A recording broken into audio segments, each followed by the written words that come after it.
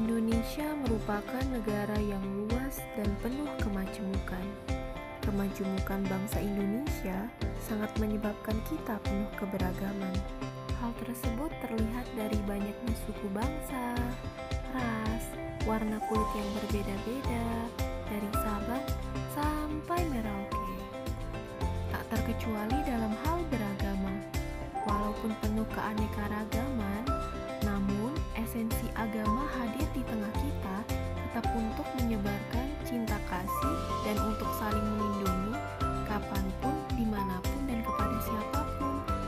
Beragama berarti menebar kebaikan, kasih sayang, karena sejatinya tidak ada agama yang mengajarkan tentang keburukan. Era digital telah banyak membawa dampak perubahan nilai terhadap masyarakat. Salah satu bentuk perubahan nilai lemahnya sikap saling menghormati antar kelompok masyarakat dan umat beragama. Kehidupan ini berlawanan dengan ajaran Islam dan kondisi keberagaman di Indonesia.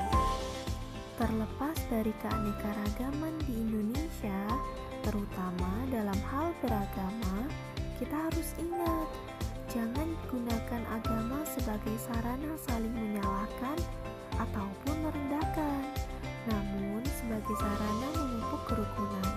Mari sama-sama terapkan sikap toleransi dan hindari sikap intoleransi karena sejatinya apa pun warna kulit, ras maupun agama